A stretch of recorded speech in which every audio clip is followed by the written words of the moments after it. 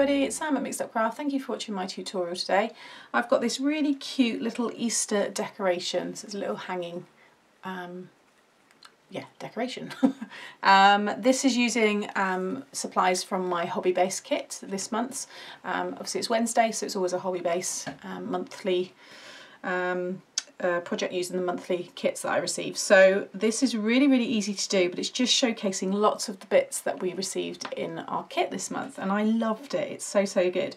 So what I've done is first of all bring in here so this is the die it's kind of I'd say the main status die within the pack because we've got um, the happy Easter dies as well but this is the bunny and it's really really nice it's by Sweet Dixie and it's the bunny rabbit and um, yeah it just it's just got a really really lovely design about it. And as I said before it wasn't something that initially I think if it was in the shop I probably wouldn't have gone for it. But that's the thing I like about these craft kits is that it forces you to maybe use things that you wouldn't necessarily buy. And I'm able to create it in a style that I like.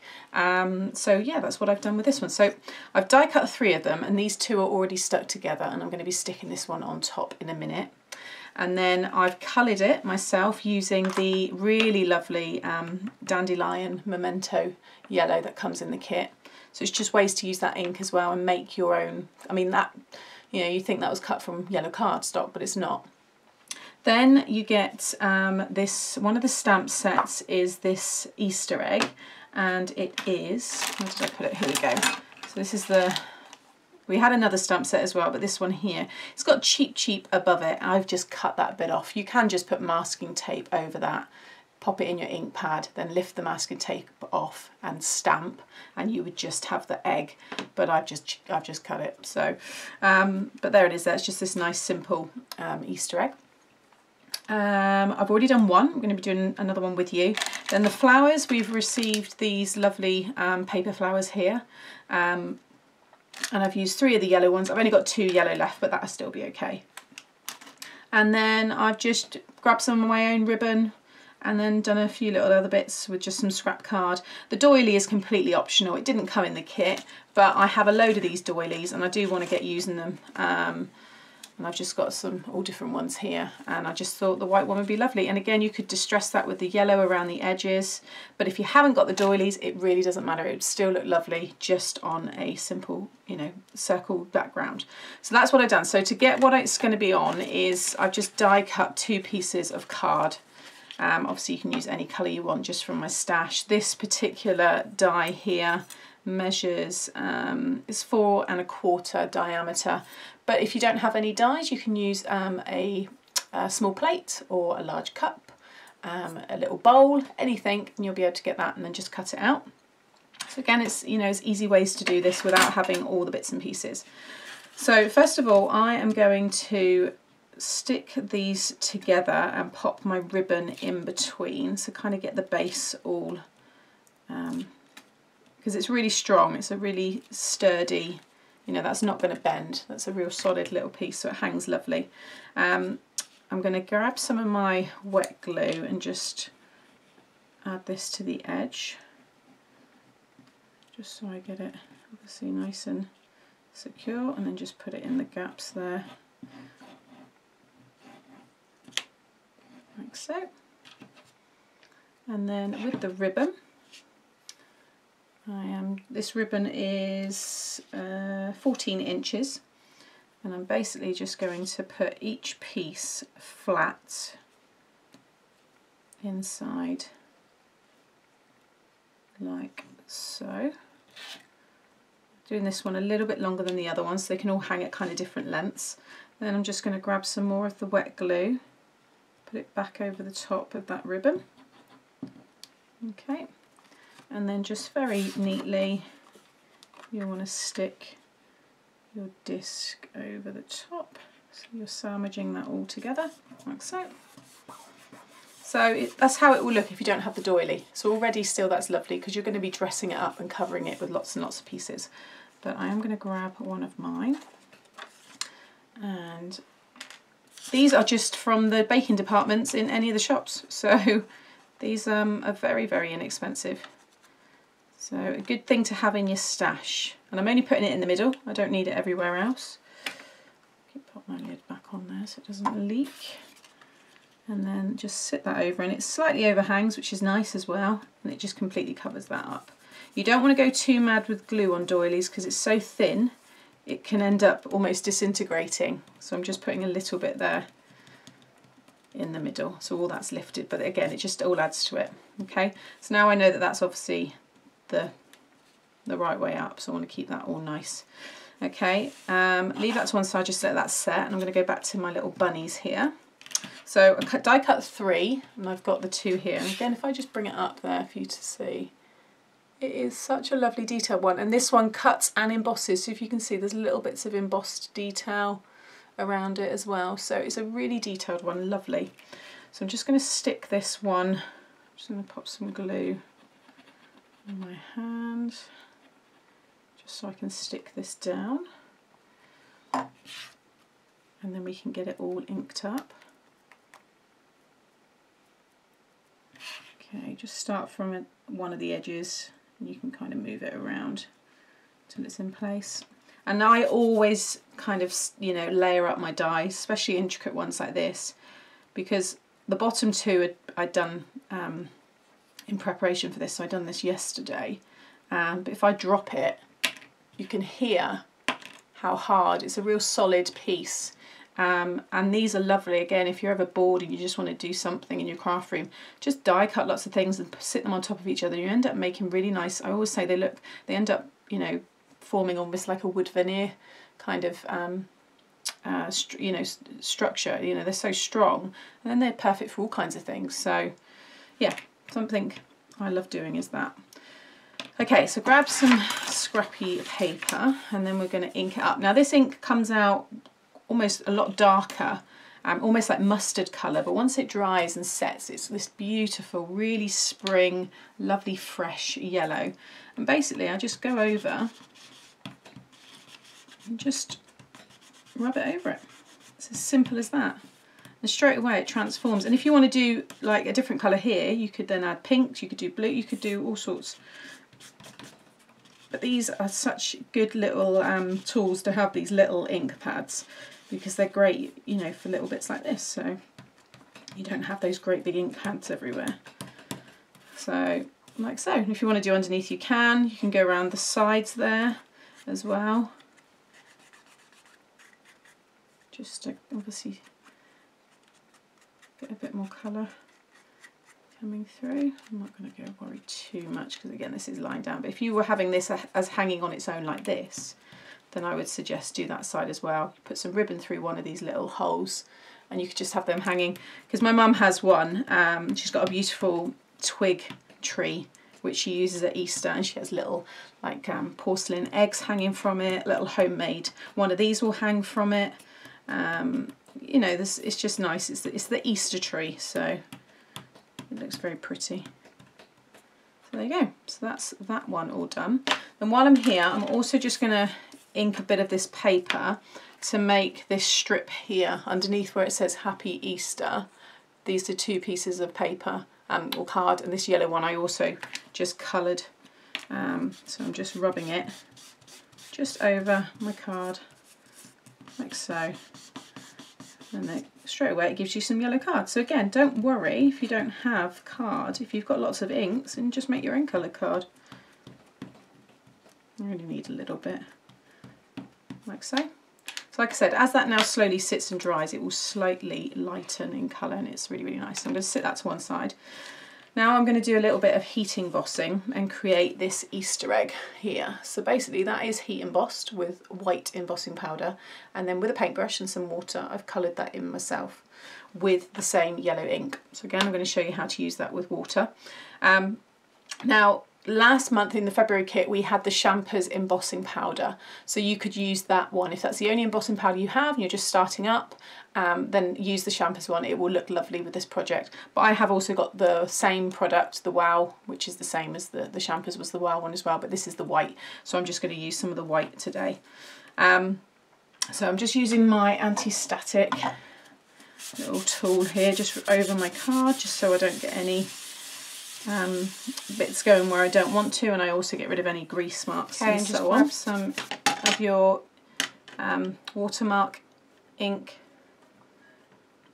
ink the stamp up. So this is that Easter egg and just stamp that down like so. Okay, I can just about see that there. You possibly will pick it up, maybe not, but it is there. and then I am going to grab my embossing powder, just sprinkle that over the top and try and shake it back in here like so. Try and use a thickish white card if you're doing this because we're going to be applying a little bit of water onto it. The thicker the card the better. Um, obviously if you've got watercolour card then you know I'd say maybe use that but this isn't, this is just a thick card, it's about 280 GSM. So you can see there the image is now stuck, the powder's stuck to the image there. So I've just got my heat gun, get it nice and hot, that's that now all done. So if I bring that up, can you see now that shine that that white embossing powder has created. So basically now when I colour that in, the colour won't go out over the lines and it will leave you this effect here. So I've still got that shine, but everything's coloured in with the yellow and still gives you that really nice um, detail. Obviously if you want to use all different coloured inks you can, but I'm just showing you obviously with what's come in the kit here. So now what I've got is a little bit of water in a well here. I've got a clear um, acrylic block and I'm literally just going to rub some of that yellow just onto the block and then I've just got a little bit of tissue here get my brush nice and wet dab it off a bit. I don't want it really really wet. And then I'm just going to pick up that yellow here. And then basically just go over now and colour in your egg. And I'm just going straight over everything. I'm just staying within the, the main outer part of the egg. Just keep picking up more. Obviously if it's you pick it up now the second time it's going to be a lot drier so you'll get a more intense colour. Like so. And then if you add more water again and kind of dilute it down. You can wash it all over again you don't have to be too too careful with this so if staying within the lines isn't something you're good at this is going to be good for you because you've got that raised edge from the embossing powder so it stops you um, you know, going over. It certainly stops the colour running over anyway. So you can see how quickly that was. I'm going to just make it a little bit darker, so I'm just going to apply some more of my ink and just pick that up now without putting it in. You can see there you get a more intense yellow and that white embossed area really pops. And like I said, if you're using that champers, you'll get exactly the same. And because the champers is, you know, is that creamy golden colour that will work really nice with this yellow as well. And again, just kind of go around until you're happy. So it's quite a dry, it's not a very wet area. Um, so you don't want to you don't want to drench this paper with water because like I said it will just end up you know going all horrible really. So there you go, just rinse that off. And I'm just going to just take the rest of that water out of there. I'll just wipe that down clean, so that's all very quickly done. And then I'm just going to pop a little bit more heat on it and just dry okay, that off. That's now nice and dry and all set. And if I just bring that up now, you can see how lovely that is. You got a really lovely looking egg. So now I'm just going to quickly fussy cut that, leaving a little bit of a white border just, just like I've done there. Again, it's just a nice simple shape, so it's very easy to just go around. Okay, so that's now finished and I've got my two little eggs ready to build up. Okay, so that's another stage done. Then um, also I've got this lovely happy, happy birthday, happy Easter sentiment and that is from the free other free die that came. So this is it. I, I'm a huge fan of X-cut dies. I do really like them. They always cut lovely. Um, and this one is the Happy Easter. So again, I've cut three of them out. So I've cut three of the Easter word, three of the Happy word, stuck them all on top of each other, just like you saw me do with the bunny there. And it just gives you this really nice, thick sentiment okay so it's, it's just it just gives it a bit more than just that completely flat word. And I've also die cut a little um, Easter egg as well. And it's so tiny that I think I've lost it. So let me oh no there it is. Really really small. You can see there what it's like. Okay so I've die cut that as well. So have all those ready. And then I'm just going to take out the flowers. And also you get these embellishments, these tiny little mini, min, mini, mini two millimeter adhesive, adhesive sews. I can't speak today. I don't know what's wrong. Um, and these are so small, but they fit perfectly within the eye part of the bunny. So if you can see there, just in here, it's a tiny little embellishment. And again, it's one of those things that when you're, you've got it here in you know, real life, you do notice it. So it's just those little details and these are perfect for that. So I'll be using one of them. So I'm just going to grab the two yellow ones. Now they come on metal like stems, but I always cut them off because I'm never going to, where did I just put it? Oh, there it is. Um, yeah, they're just much, much easier to stick down. So I just cut them off just with normal scissors. They're very, very thin, right up to the edge there. So you get a completely flat base. And now they're perfect for stick, sticking in place. So let's go back to this. And first of all, I'm going to stick the bunny down because that is going right in the middle of our little doily here or our circle. Okay, so all you need to do is just put some glue on the main areas on the back. So obviously the ears, you've got a nice big surface area there. And then I'll put a little bit around the eyes, around the top there, just on any of the larger areas and, and focus on that kind of outer part Again, you don't need a lot. It's only a very lightweight little decorative piece, so you don't need to go crazy with all your adhesives and stuff.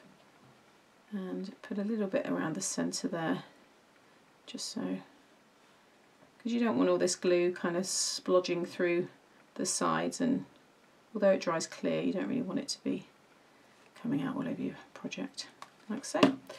So again, like I said, just pop it nice and centred, like so.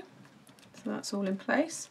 Then you want to put the eggs down. So I've got one that's kind of like so, and then I've got another one like that. So we've got the sentiment going over the top. So I'm just going to splodge a bit of glue and have it like that.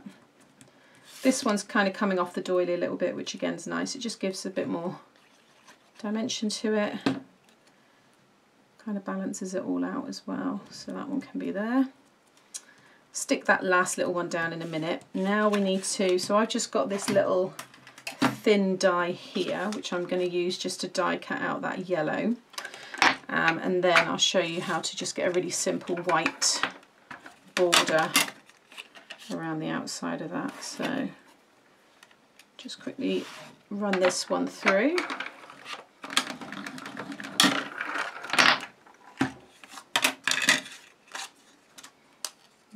So now we've got a lovely perfect yellow strip and then don't need that anymore. Is what I'm going to do now is I'm going to pop a little bit of tape on the back of this. So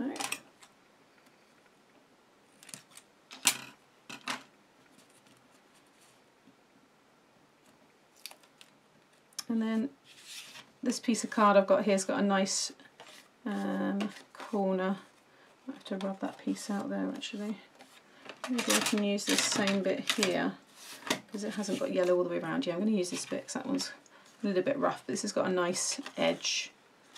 use that bit down there. I can just get away with it. So I'm going to pop it right down into the corner, just giving it a tiny, almost like just a couple of millimetre little frame, like so. And I'm using my bigger scissors so I can get a nice cut. So I'm just going to do the same border up that side. And then in one big cut so you get a nice straight line. I'm going to go all the way down that side there. Just there we go. So now you've just got a nice little framed and that's a good way to just make any kind of, if you've got little sentiments that you want to stamp it's a good way just to create that kind of frame. Then sticking on our happy Easter. And the reason I've done it is just to make that word pop so you can see it with that yellow background. I just thought it stood out a bit more. So again, I'm just going to pop some glue on my hand just to get this all stuck down. A bit of glue onto the back of that. Happy. And again, okay. Easter. So now we can stick that one down the top of our bunny. So again, just going to rub some glue over the back of this and then sit that one down. So it's literally just sitting on the bottom of the bunny. And make sure it's all nice and even, like so. And that tiny little egg, tiny little bit of glue, I should have my tweezers really, is going to just sit again on top of those. And then the flowers, you can use hot glue, I'm just going to pick up the last of this glue here and they're just kind of sitting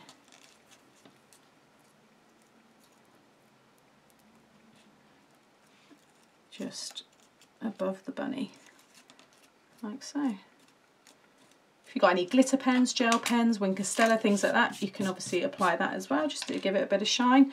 But there you have it, a really quick little decorative, you know, hanging. And these are lovely to put inside cards. You can give these to people as a little gift that way as well. Um, but there you have it. So I've got two there that are going to look really nice hanging on the little twig tree, as I call it. Um, and yeah I just think they make lovely gifts and you can obviously you know design these however you want but that is using a lot of the product from this month's March Hobbybase kit um, if you are interested or you'd like to know more about that kit you can um, just click on the links below this video um, which I always share all of those as well over on my blog. So yeah hope you enjoyed it. Please hit the thumbs up if you did and subscribe to the channel to see more. Thanks for watching. Bye